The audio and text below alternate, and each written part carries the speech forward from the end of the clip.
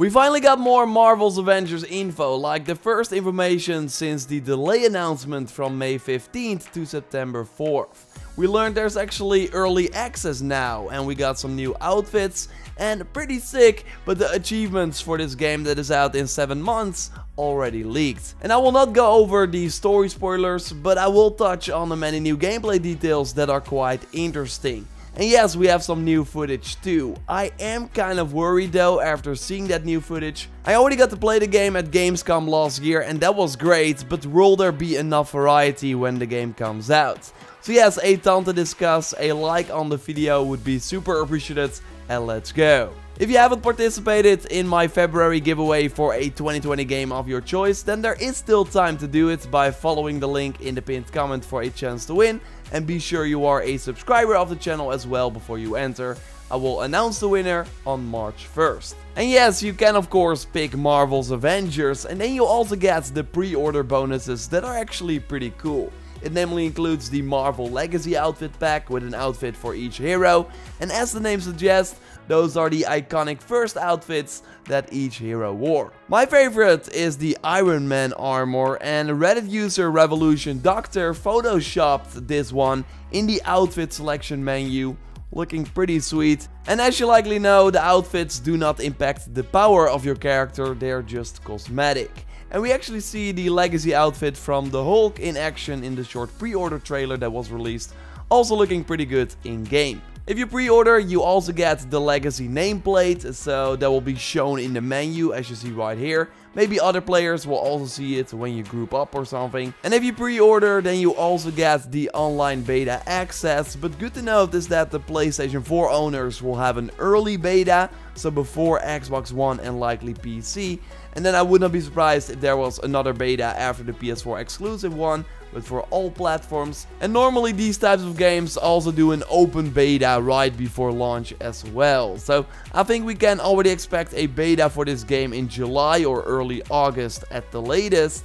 And then more of these betas as we near the release on September 4th or actually the release on September 1st. Because yeah, in true AAA games fashion, it gets even more complicated. Okay, not Ubisoft complicated, and this Odyssey sheet does not even include all the physical collector's editions that that game had. Still though, Marvel's Avengers has a deluxe edition that is pretty straightforward, so you have a 72 hour early access, so they can start playing on Tuesday instead of Friday. You get the Obsidian outfit pack that basically includes recall colors of the original outfits for each hero with black, white, grey and gold. I still think it looks great for Thor and Captain America though, but it's less exciting than the Legacy pack for sure. And you also get some golden nameplates. But there's also an exclusive PlayStation bundle that you can only get in the PlayStation Store and that is $10 less than the regular deluxe edition. But it still includes the early access and an exclusive Ms. Marvel nameplate live and 1000 credits. So that seems to be the microtransactions currency.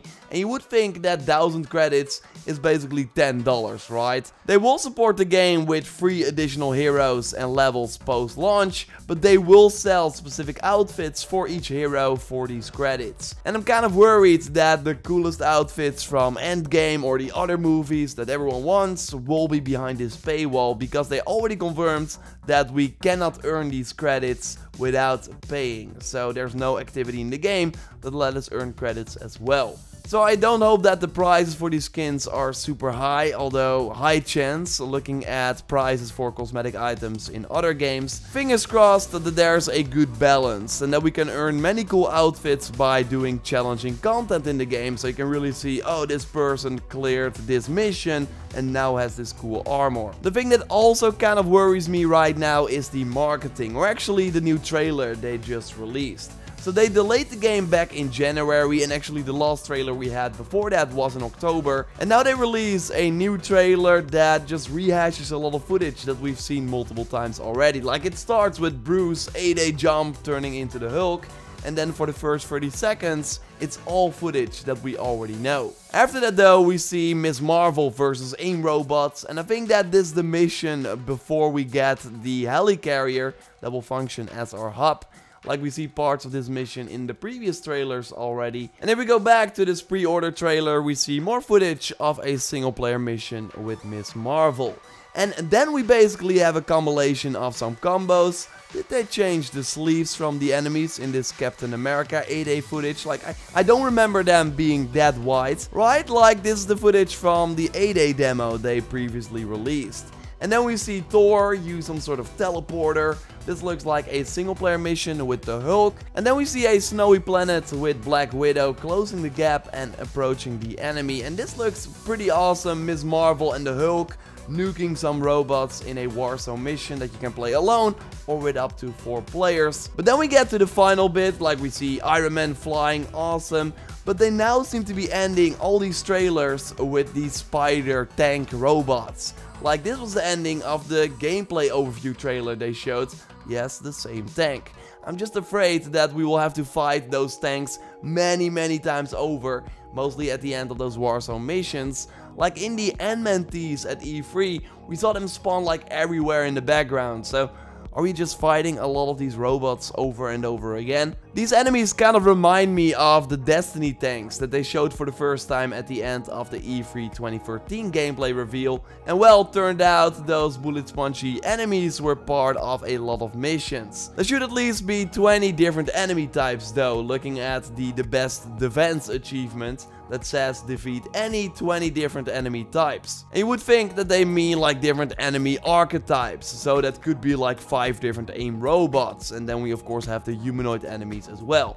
20 sounds okay, pretty great if they all behave very different from each other, and then we also have many achievements about ranking up like reach power level 300 with any hero, reach Avenger rank 250, reach hero level 5 with 5 different heroes. And reach hero level 50 likely the max level and purchase all the skills for any hero. So this seems to confirm that we can unlock all the skills for one hero which is nice and we of course saw the skill line already a little bit in the gameplay overview trailer. So we'll be ranking up in many ways, maybe too many ways, but that's hard to say at this point. There's also a faction rank, because for one achievement we have to reach faction rank 25 in any faction, so there seem to be factions in this game because we also have purchase an item from two different faction vendors and complete 10 priority faction missions. So I think that by doing these priority faction missions you earn points toward that faction and then the higher your rank, the more exclusive items you can buy from their vendor. Pretty typical in these types of games. I'm just curious if these factions really have some background and really sell some awesome items. My favorite type of achievements or trophies, and we're now discussing the achievement list, but it will be similar to the trophy list as always. No, but there are quite a lot of challenging trophies, like reach a combo of 20 hits or higher, defeat 10 or more enemies with a single heroic ability activation. Earn a 5 star rating on an objective without any team members taking damage, like you really have to coordinate for those. Earn a 100% rating on a mission without any team member being downed. So after being downed, you can likely be revived by your teammates, but here, for this trophy, you do not have to get in that state at all. We already saw the war table menu where we could select a difficulty for each mission and there seem to be quite some difficulties that we can select. For the holding a down achievement we have to complete 30 war zones on brutal or higher difficulty and for the best around we have to earn a 100% rating for any war zone on the merciless difficulty and that looks to be the hardest difficulty. So yes, replaying missions will be a big part of this game from the looks of it and these difficulties should make these missions more varied when you return. Hopefully they do not only increase the health or damage from the enemies, but a little bit more. We got two more challenging achievements. For one we have to complete any mission in under 3 minutes. Or for the old-fashioned beatdown, we have to defeat any boss without any strike team member taking damage. Like trophies like this are really fun to chase. There will be cash strong boxes in the game. We have to open 50 of them for one achievement and also 100 of them for the surprise every time achievement. They already confirmed at E3 that there will be no loot boxes or pay to win scenarios in this game. So I think these strong boxes are like loot chests we find in the missions that can contain gear. Other interesting achievements are for the so-called hive missions. We have to complete 5 and 50 for another achievement. We have to rescue 100 AIM prisoners and break into 30 depots. And there are also trophies and achievements that you get while playing through the single player story that I will not show.